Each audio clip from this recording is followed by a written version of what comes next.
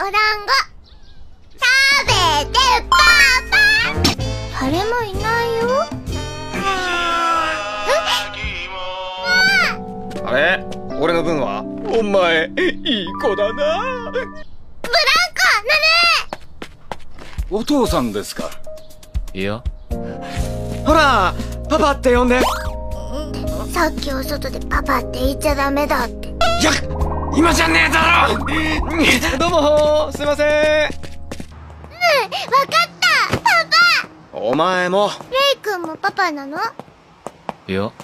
パパン。やめろ。君名前は？うなさかみりです。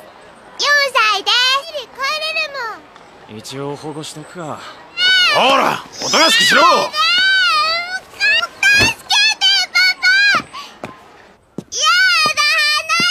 としてろ！明日も遊ぶ約束してるんだ。知り合いの子供か？